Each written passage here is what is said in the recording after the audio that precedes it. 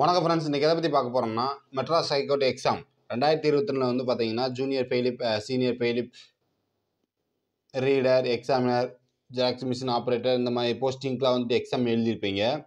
இப்போ வந்து பார்த்தீங்கன்னா ஃபஸ்ட்டு ஸ்டேஜ் செகண்ட் ஸ்டேஜ் அப்படின்னு சொல்லி டிரைவர் அப்புறம் வந்து பார்த்தீங்கன்னா அந்த இப்போ நம்ம ஆல்ரெடி சொன்ன அந்த போஸ்டிங்க்கெலாம் வந்து பார்த்தீங்கன்னா சர்டிஃபிகேட் வெரிஃபிகேஷன் நடத்துனாங்க. இப்போ ஃபைனலாக வந்து பார்த்தீங்கன்னா செலக்டட் கேண்டிடேட் லிஸ்ட்டும் விட்டுட்டாங்க. பார்த்துங்க டிஸ்ட்ரிக் வைஸாக கொடுத்துருக்காங்க.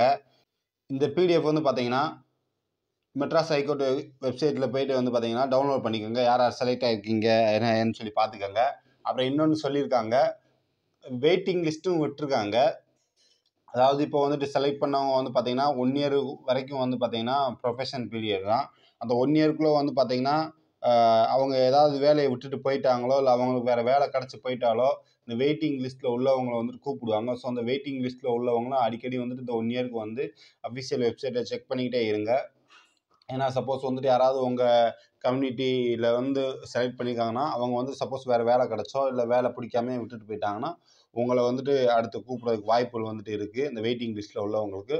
ஸோ இந்த வாய்ப்பை வந்துட்டு தவற விட்றாதீங்க வெயிட்டிங் லிஸ்ட்டில் உள்ளவங்க இப்போ வந்து பார்த்தீங்கன்னா இதில் பாஸ் ஆனவங்களுக்கு எல்லாத்துக்கும் வந்துட்டு நம்ம சார்பாக வாழ்த்துக்களை தெரிவிச்சுக்கிறேன்.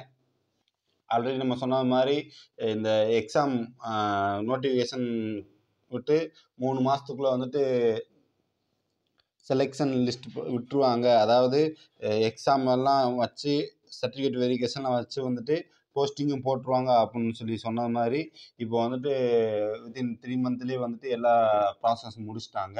மறுபடியும் வந்துட்டு பாஸ் ஆனவங்களுக்கு எல்லாத்துக்கும் வாழ்த்துக்கள். இந்த வீடியோ உங்களுக்கு யூஸ்ஃபுல்லாக இருந்திருக்குன்னு நினைக்கிறேன் ஃப்ரெண்ட் உங்கள் ஃப்ரெண்ட்ஸ் யாராவது எக்ஸாம் எழுதி சர்டிஃபிகேட் வெரிஃபிகேஷன் போய் தான் அவங்க ஃபார்வேர்டு பண்ணுங்கள் இந்த வீடியோவோ அவங்க வந்து செலக்ட் ஆகிருக்காங்களா என்னன்னு சொல்லி பார்த்துக்கிறட்டும் ஓகே தேங்க்யூ